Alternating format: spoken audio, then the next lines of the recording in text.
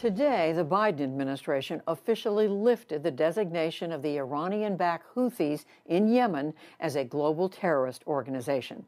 That announcement comes within a larger review of the U.S. relationship with Saudi Arabia, which has waged a six year campaign against the Houthis. It is one of the most significant foreign policy shifts yet of the Biden administration. Nick Schifrin reports on the prospects for diplomacy and speaks to the new U.S. envoy to Yemen. When Yemen's new government cabinet arrived to fanfare six weeks ago, it was supposed to be a step toward ending the war. Instead, a Houthi rocket hit the tarmac. There was chaos and smoke. Parts of the airport were pulverized. For six years, the Saudi led campaign tried to unseat the Iranian backed Houthis from the capital, Sana'a.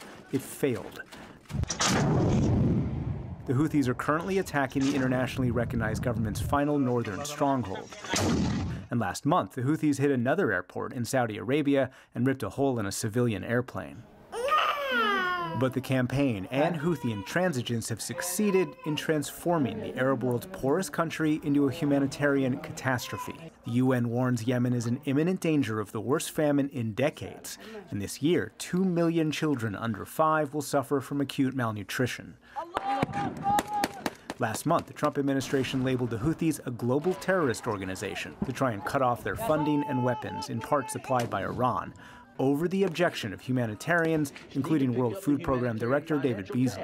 It literally is going to be a death sentence to hundreds of thousands, if not millions. It needs to be reevaluated, and quite frankly, it needs to be reversed. Today, the Biden administration officially made that reversal. Tim Lenderking is the new envoy to Yemen. Um, ending this war through a lasting political solution is the only means to durably end the humanitarian crisis Lenderking is leading a new push for diplomacy. Last week, he visited Saudi capital Riyadh with UN Special Envoy Martin Griffiths, and Griffiths visited Tehran. But diplomacy has been tried before. A 2018 deal largely fell apart. And today, Yemen is even more splintered, and both sides have more than enough weapons and incentive to keep fighting. The Biden administration is trying to put pressure on Saudi Arabia. It froze the sale of arms that the kingdom uses in Yemen and it ended the targeting assistance that the U.S. military argued improved Saudi precision. During the campaign, President Biden warned Saudi Arabia that as president, he would hold them accountable. We were going to, in fact, make them pay the price and make them, in fact, the pariah that they are.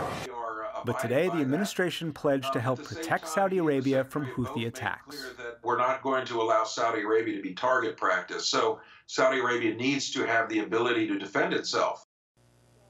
And for more on this, we are joined by Tim Lenderking, the new U.S. Special Envoy for Yemen. Tim Lenderking, welcome to the NewsHour. Secretary Blinken said today uh, that Houthi attacks are not the actions of a group uh, that claims to want peace. Uh, how can you negotiate a settlement uh, if one of the sides does not want peace?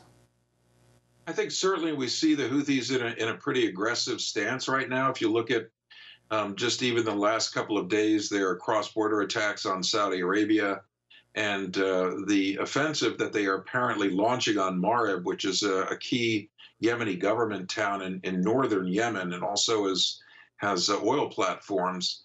Um, that, that's that's been fairly aggressive. There are movements on both of these fronts. I think we're, we're going to have to test the proposition.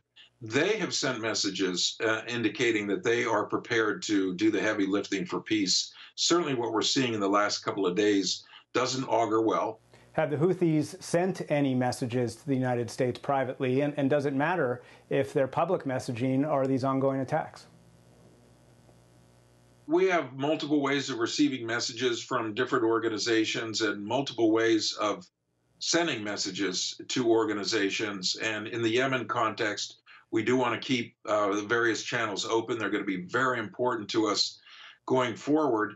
Have the Houthis sent private messages? Um, as I say, they have ways of getting messages to us, and so we have taken those, and uh, we will we will do our best to work constructively uh, with those messages and with the various groups in Yemen who are you know who are supportive of a, a peace process. Your critics say uh, that lifting the global terrorist organization uh, label on the Houthis uh, before they had to make any concessions means you've lost a chance for leverage uh, to try and get them back to the negotiating table. Do you believe that you've lost some leverage by lifting uh, that global terrorist organization label?